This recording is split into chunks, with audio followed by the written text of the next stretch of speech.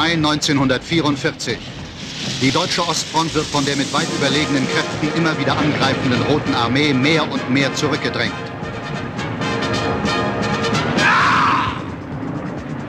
Mit der Landung der Alliierten in der Normandie war der Zusammenbruch Deutschlands nicht mehr aufzuhalten. Die Zeit der deutschen Offensiven war vorbei. Es gab nur noch eine Richtung, zurück.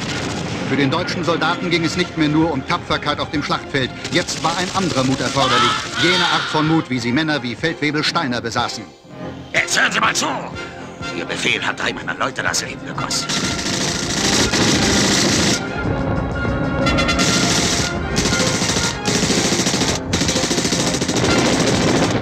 Steiner, das Eiserne Kreuz, zweiter Teil. Richard Burton als Feldwebel Steiner. Ich möchte, dass du auf die andere Seite gehst, mit General Webster Kontakt aufnimmst und ihm erklärst, dass deutsche Generale zum Waffenstillstand bereit sind. Rod Steiger als General Webster. In den nächsten Tagen werden wir angreifen und ich möchte nicht, dass meine Tanks in deutsche Büchsenöffner laufen. Vorgewarnt ist vorbereitet, Colonel. Steiner, das Eiserne Kreuz, zweiter Teil.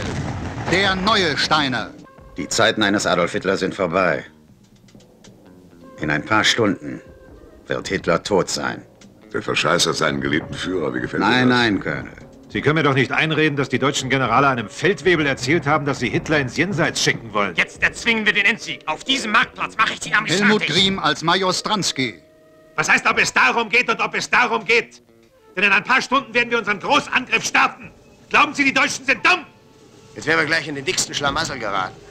Klaus Löwitsch als Unteroffizier Krüger. Horst Jansson als Hauptmann Berger. Sowie Kurt Jürgens als General Hoffmann. Und Robert Mitchum als Colonel Rogers.